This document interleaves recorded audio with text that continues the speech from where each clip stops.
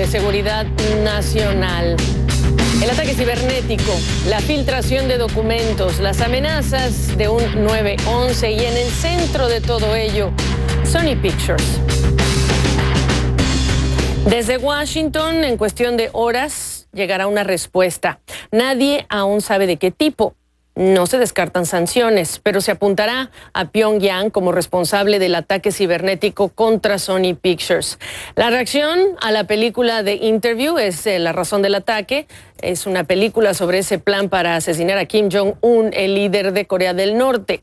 El tema es tratado en Washington como un asunto de seguridad nacional. Pero en Hollywood el tratamiento es severo contra Sony Pictures por cancelar este estreno para el 25 de diciembre programado.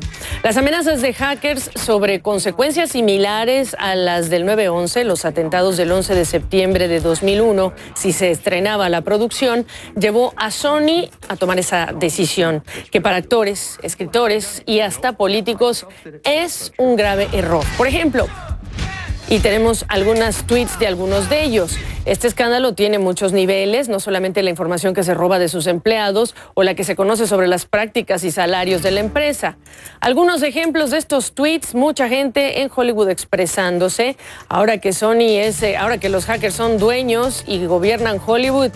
Michael Moore pide películas menos románticas, eh, menos películas del director Michael Bays y no más películas sobre los Transformers. Hay muchos más. Tyler Moore dice que Sony acaba de tirar a la basura 44 millones de dólares y deja que los terroristas ganen.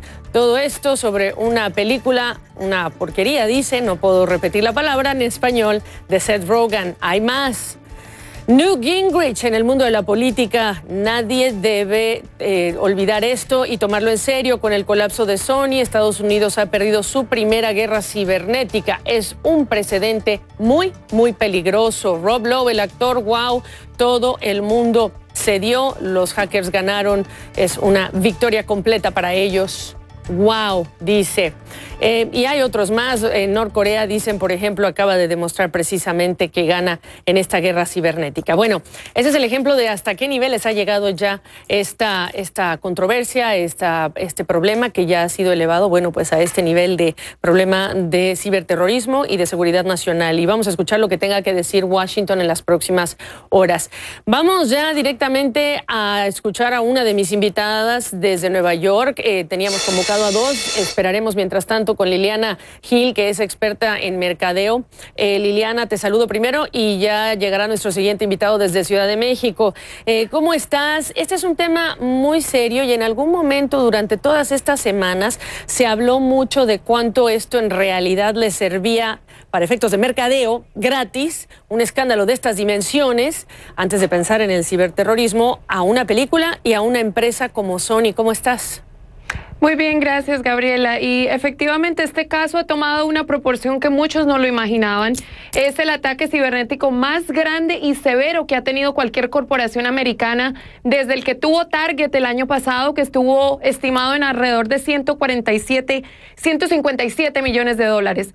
Mucha gente solamente está evaluando el costo de lo que cuesta producir esta película, que fueron 44 millones, pero cuando empiezas a sumar el costo publicitario que ya había incurrido, Sony, que son alrededor de 35 millones, lo que esperaban en taquilla, que era unos 120 millones más, la cantidad de demandas que se vienen detrás de la gran decisión que tomaron, que para muchos es una derrota de la, de la guerra cibernética que, que vivimos a diario, que mucha gente no lo ve y es silenciosa y es invisible, pero es un precedente serio, un precedente que muestra una derrota y obviamente una gran victoria de los hackers.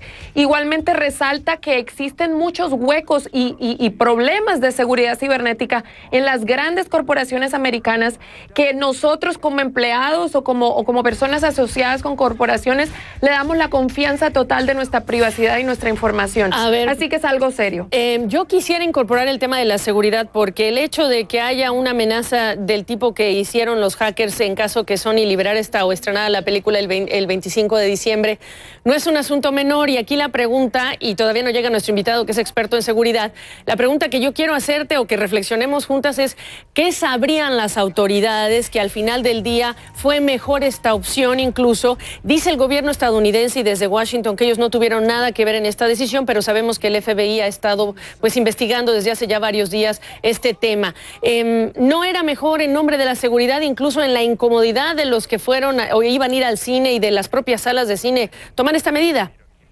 Pues al final del día, lo que es interesante de esta dinámica es que, como, como tú lo dices, Gabriela, no hubo una influencia federal para, para, para que se tomara esta decisión. Fue una decisión privada.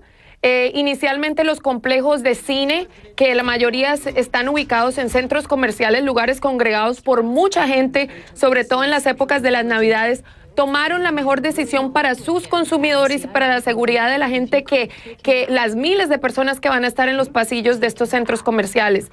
Y una vez no hay distribución, porque eso fue lo que pasó primero, los hack, la, el miedo de los hackers primero fue abordado por la Asociación de Dueños de Teatros. Ellos empezaron a cancelar la distribución y la muestra del lanzamiento de esta película y eventualmente Sony se vio obligado a responder no solo por eso, porque no tenían distribución, sino porque empezaron a filtrarse informaciones privadas, emails, conversaciones, información de empleados, que era demasiado riesgo eh, el combinar tanto el riesgo de la seguridad pública como el riesgo que tenían con sus propios empleados y la empresa. Eh, yo entiendo el mensaje, Jorge Septién, experto de seguridad desde la Ciudad de México. Yo entiendo, bienvenido, el, el mensaje que puede mandar eh, a quienes están eh, diciendo que esto sienta un precedente muy malo, muy negativo, que significaría que la próxima vez que alguien haga una amenaza de estas características, habría que ver si puede hacer un ataque de estas mismas características contra una empresa, este, vaya a exponer a la gente. Pero yo te pregunto, ¿fue la decisión correcta en nombre de la seguridad? Bienvenido, Jorge. Desde luego, yo creo que lo primero que hay que analizar es que la gente eh, muchas veces funciona en base a percepciones. Y lo más importante es que las personas, si hay una percepción de intranquilidad en torno a todo esto, pues se tomen decisiones eh, objetivas y se, y se haga lo que se hizo en ese momento.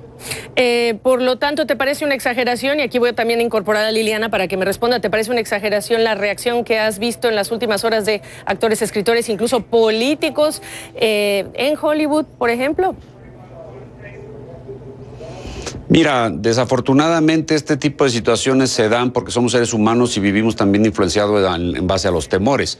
Lo que es importante es darnos cuenta de que el mundo al día de hoy está conectado a través de una eh, red que nos tiene cautivos a través de toda la serie de, de, herramientas cibernéticas que utilizamos, desde las que son de uso personal con un celular en donde directamente ya abro una ventana de toda mi información personal y familiar al mundo, como lo son las empresas y las grandes instituciones que también operan a través de la red. Ahora, todo este tipo de modernidades implican riesgos, implica el entender que el terrorismo mundial y el saber que los criminales al día de hoy buscan nuevas modalidades para poder infundir el terror, no necesariamente con ataques de bombas y ataques físicos sobre alguna instalación, alguna persona, se están viendo ya los, ataques terroristas, sino se están viendo a través de el dañar la tranquilidad de las personas. Y cómo lo hacemos a través de dañar la información, de afectarla, presumir que con esa información pueden hacer algo grave. Entonces yo creo que lo que estamos viendo son respuestas naturales, son respuestas como cuando tuvimos la influenza H1N1 en México, en donde muchos decían que era exagerado, pero por otros lados tuvimos una decisión dura que salvó muchas vidas seguramente. Eh, aquí hay un tema que les toca a ambos, a Liliana y a Jorge, y es el cómo ha manejado la empresa este tema, desde la óptica de la seguridad y la informática, porque para muchos, eh, Jorge, por ejemplo, Norcorea o Corea del Norte, mejor dicho, desde el año 2009, en 2011, hay toda una serie de antecedentes sobre ataques eh, cibernéticos, ataques informáticos. El más sonado es el que golpeó a bancos en Corea del Sur, que fue un ataque, pues francamente, muy efectivo. Pero desde la otra óptica también, Liliana, está el manejo que ha dado Sony eh, desde no hablar en la alfombra roja eh, cuando empezaron estas filtraciones de documentos hasta, eh, bueno, el resto, las disculpas que han tenido que pedir sus ejecutivos. Déjame empezar por el lado de la imagen de la empresa y el manejo que se ha dado, Liliana. ¿Qué me dices?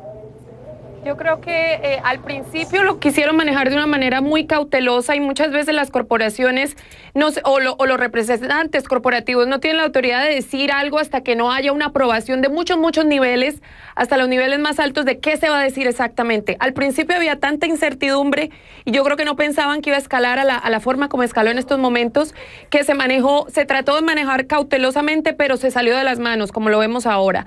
Creo que ahora están reaccionando de la forma que debe ser están aceptando que hubo un, una debilidad y es irónico porque Sony es una compañía de tecnología y que ahora eh, deben tomar medidas para mejorar eh, su seguridad interna y controles informáticos para que no vuelva a suceder. Pero tomó tiempo y tomó la luz pública, los tweets y la reacción de mucha más gente y de sus propios dueños de teatros para que ellos lo tomaran más en serio. Me hubiera gustado que se hubiera manejado de una manera más transparente desde el principio. Eh, y cuando hablas de transparencia, Jorge, aquí no solamente ya se empiezan a conocer algunos detalles. Entre ellos, no es que los hackers tuvieron que derribar algunas de estas paredes que hay, fronteras con las que se protegen las empresas y a su información, sino que solamente con robar las credenciales de un administrador tenemos una descarga de más de 100 terabytes o terabytes de documentos. Y entonces aquí ya estamos hablando del tiempo con el que ya se sabía que había esta amenaza de filtración de documentos y de robo de datos. ¿Qué me dice sobre el manejo que se dio en este otro frente? Bueno, eh, estoy de acuerdo con nuestra compañera en cuanto a su opinión del manejo de estos medios, pero en materia de la filtración, evidentemente también tuvieron que tomar muchas mayores acciones y mucho más rápidas acciones para asegurar y cerrar las brechas que quedaban abiertas todavía. Desafortunadamente en la seguridad, y lo vimos con Snowden, también en las en los filtraciones que el gobierno norteamericano tuvo, eh, cuando una persona eh, que tiene las credenciales o tiene el acceso a poder entrar a esas bases de datos es vulnerada, pues toda la organización queda vulnerada. Yo creo que es importantísimo entender que la seguridad es un activo, es un activo que se debe de proteger como el mejor de los activos que, tengamos como un lingote de oro, cualquier cosa de estas, pero debemos de tomar medidas que van de la mano preventiva casi siempre, pero sí. también reactiva con planes de contingencia y no, no actuar nada más a intuición. Les pido un sí o un no porque ya no me queda tiempo y la pregunta que les hago, en el futuro, ¿debe Hollywood tomar en cuenta el contexto cuando decide hacer una película con un contenido, una comedia, con un plan o sobre un plan de intento de asesinato de un líder como Kim Jong-un, sí o no, Jorge? Yo creo que sí debe considerar Bien. el contexto. Liliana. Aquí tal vez estamos en desacuerdo. Yo estoy en pro de la libertad artística, que es uno de los derechos que se tienen aquí en Estados Unidos y espero que esto, este susto no mate la libertad artística. Bueno, pues ahí están Jorge Septién, Liliana Gil. Gracias a ambos. Buenas noches. Muchas gracias. Gracias. Bueno, les toca a ustedes su turno para que nos compartan lo que opinan sobre este tema. En nuestra pregunta en Facebook, CNN Dinero les preguntó, ante las amenazas de hackers sobre posibles ataques terroristas, Sony Pictures canceló el debut de esta película de Interview, ya lo saben, es la comedia sobre ese intento para asesinar a Kim Jong-un. Y la decisión le valió fuertes críticas a Sony. Bueno, para ustedes la decisión es correcta o es un error porque cede ante presiones de los hackers. Facebook.com barra diagonal CNN Dinero, ya esperándolos y también en arroba Jefrías y arroba Xavier Servia CNN.